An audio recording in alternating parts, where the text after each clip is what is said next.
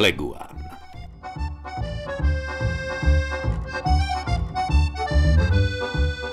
Hasiče si platí společnost z daní, tudíž jejich pomoc máte ze zákona zdarma. Ale chodit po ulici s leguánem na vodítku a vstekat se, když se vám zvíře vyškubne a vyleze na strom, podle mě vyžaduje trochu sníženou dávku soudnosti.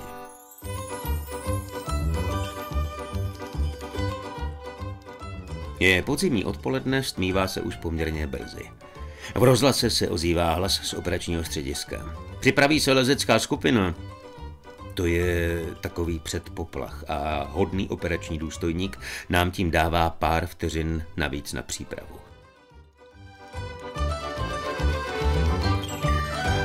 Poplach zní záchrana zvířat z výšek, výjezd lezecké skupiny. Přijíždíme na místo. Nešťastný chovatel nás seznamuje s faktem, že tamhle někde, ukazujíc neurčitě někam do větví stromů, zhruba 25 metrů vysoko viděl naposledy asi před hodinou svého zeleného kámoše. Jenže těch stromů je tu docela hodně, terén je travnatý a hodně šikmý. Plošina ani automobilový žebřík tady ustavit nejdou.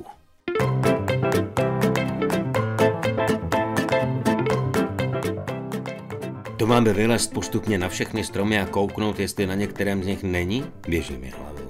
Navíc ten leguán zelený je stromový plas, což trochu napovídá, že bude na těch stromech asi o něco lepší než my, když máme lana, přilby a všelijaké další lezecké vybavení. Probíhá rychlá porada, trochu bokem od pána, který nešťastně ždíme v ruce kuslana, zakončeného něčím, jako je obojek.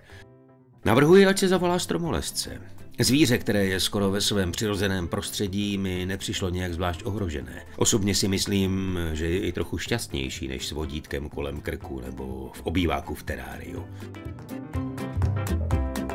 Ne všichni sdílí můj názor a rozhodnou se chovateli výjít vstříc.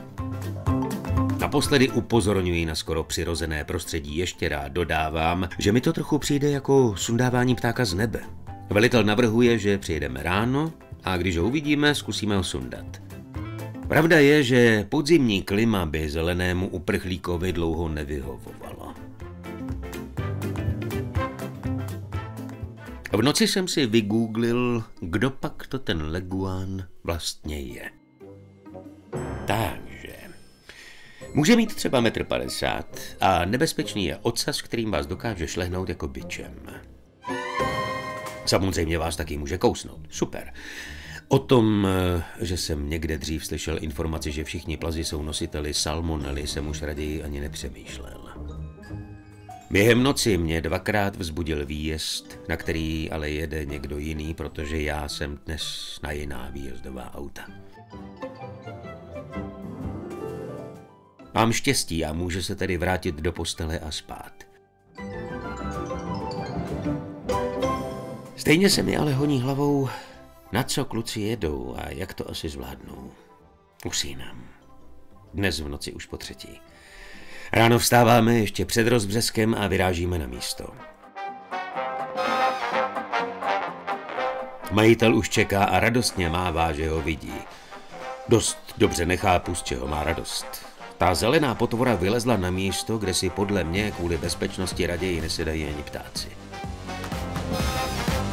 Uklidňuji ho, že já jsem schopen dostat se maximálně tamhle, což je ještě asi o tak 10 metrů pod ještěrem, ale potom ho můžu zkusit poprosit, jestli třeba už nechce slézt dolů. Velitel mě pohledem krotí a Jarda říká, že to zkusí.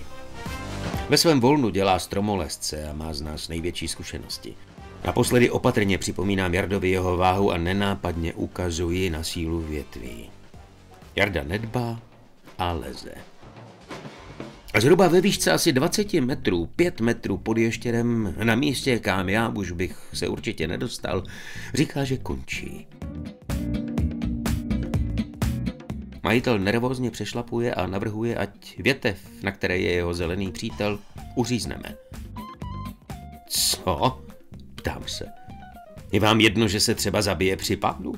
Ano, chladně odpověděl majitel a já doufal, že ne všichni chovatele jsou stejní. Jarda si k sobě pomocí lana vytáhne motorovou pilu, nastartuje ji a větev se zeleným uprchlíkem uřízne. Leguán se kolem mě snesl na větvi jako Silver Surfer. Myslím, že když mě míjel, šibalsky na mě mrkl a jako by říkal, to čujíš, veď? Byl jsem šťastný, že let přežil a nic mu není.